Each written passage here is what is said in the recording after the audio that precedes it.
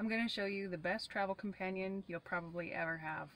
Two tennis balls in a sock. These are great. Myofascial release on the go. If you are a passenger, you can put the two tennis balls behind you, kind of at an angle. You want to keep them off of your spine and off of the shoulder blade itself. But reach behind you, lean back.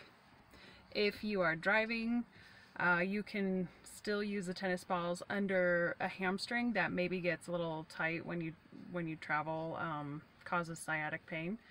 And also at the bottom of your thoracic, maybe T12 area, L1, so like right at the bottom of your thoracic area, which is right above the lumbar curve, put the tennis balls right above that.